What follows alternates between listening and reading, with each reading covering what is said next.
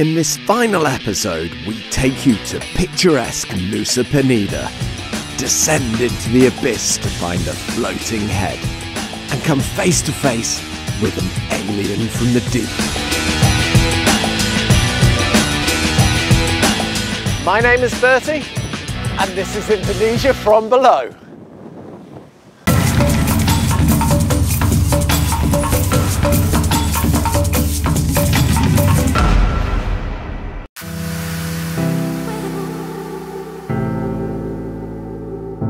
Just a 40 minute boat ride from the hustle and bustle of Bali lies the rugged paradise of Nusa Penida. With hundreds of hidden coves, voluptuous vistas, and tantalizing temples, Nusa Penida is an adventurer's paradise. And for the most adventurous of us out there, Penida has one draw to top the lot.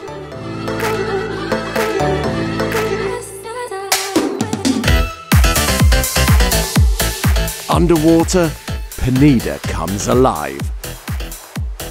The cold currents flowing through these parts bring nutrient water from the deep.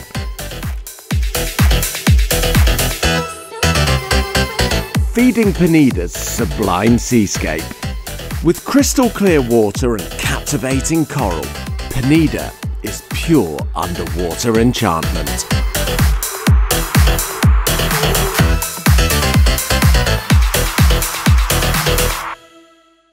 Beautiful coral, lovely visibility.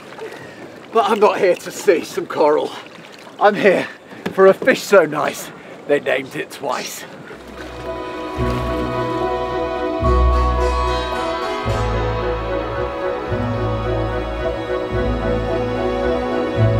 Looking like something from Frankenstein's laboratory, this is a sunfish. As the largest and heaviest bony fish in the world, they can weigh more than a pickup truck, a whopping two and a half tons.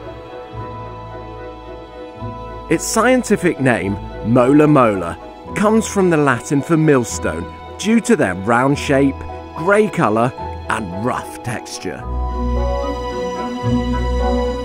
Able to dive up to 800 metres deep, the legendary sunfish is an elusive animal. But at the right time of year, in the cold currents off Nusa Penida, Mola Mola can be seen aggregating near the reef, waiting to get their parasites cleaned by resident bannerfish.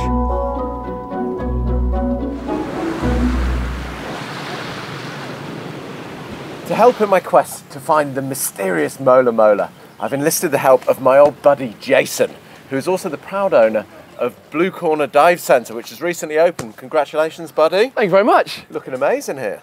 So tell me about this fish.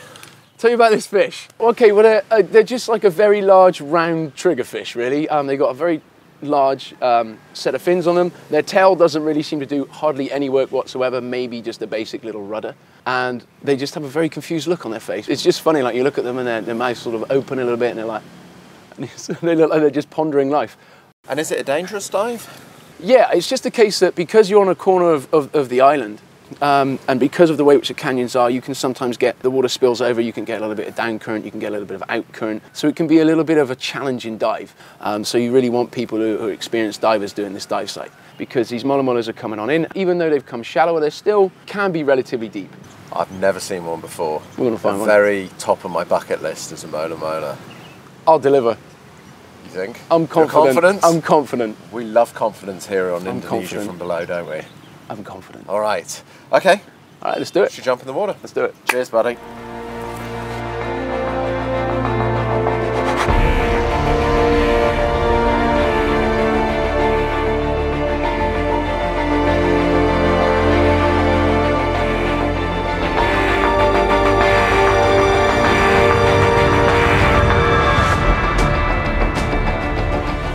Plunging into cold water at the crack of dawn, what a way to start the day. As we made our rapid descent, it soon began to get colder and colder. This is not a venture for inexperienced divers. Fighting currents, low light and deep water, we continued on. Eyes peeled out into the blue. Then, out of the darkness, appeared a giant floating head.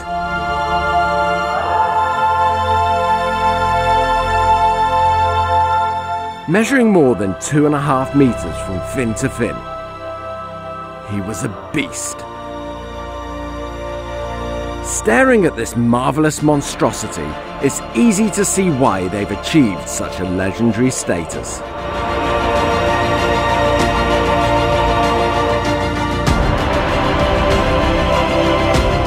Swiftly as he had appeared, he turned away and then descended back into the darkness. That, my friend, is how we roll. Mola, Mola, you said you find me a Mola? And there we go. Perfection. That What was an absolutely crazy looking fish. It's hard to believe that such an animal exists, but they do. They're here at Nusa Penida. I know because my mate Jason found one for me. Woohoo! Indonesia truly is an underwater treasure trove.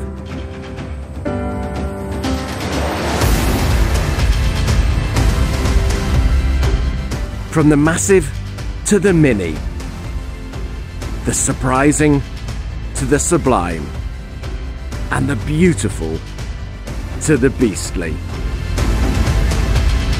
When you're in amongst the Garden of Eden thinking, does life get any better? And what comes from out the blue? A whale shark. That shouldn't happen, but that just did happen. I don't think there's any greater thrill in the animal kingdom than having a mantis circling around your head. Remoras, there's so many remoras underneath them. I need my camera. I need my camera now. It's been an aquatic adventure like no other. But this nation of islands is vast, and we've only just scratched the surface.